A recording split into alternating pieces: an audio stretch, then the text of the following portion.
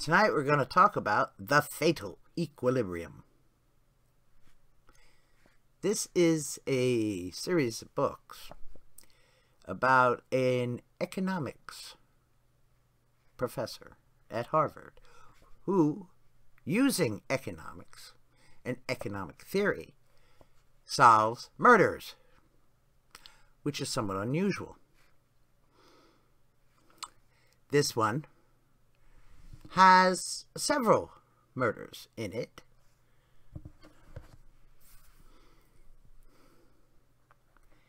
A, um,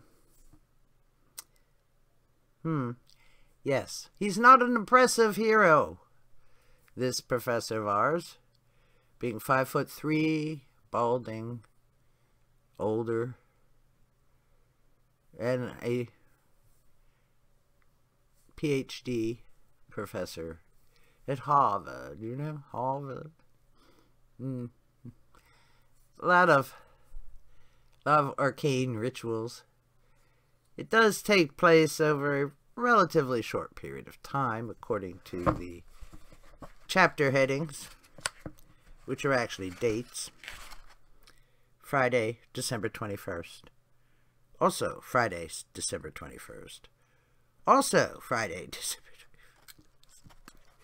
And it's not until chapter 4, pardon me, 5, that we get to Saturday, December 22nd.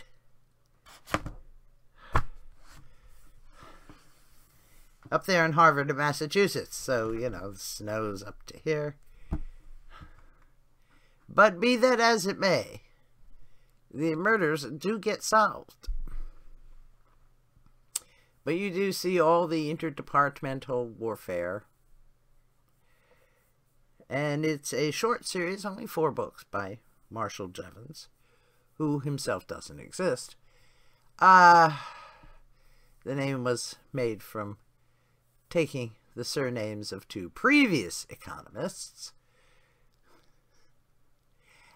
But the actual book was written by a pair of economists who collaborated. Not the same pair of. The name, named economists, you know, that make the title, the author's title, um, are not the two who wrote it. But they're all economists involved in this, except for the professor's wife, who isn't an economist. So, unfortunately, there won't be any more.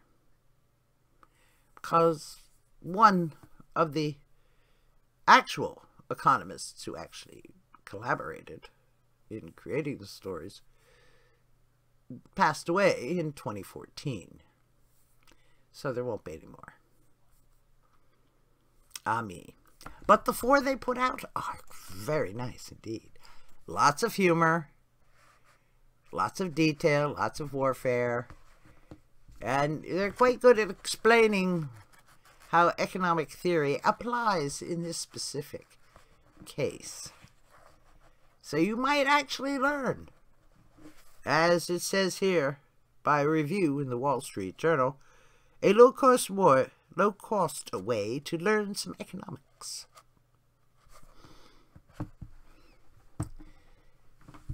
Thank you for watching. All the books are available as ebooks on Amazon. That's where I got all but this copy. And I thank you for watching. And please do come again.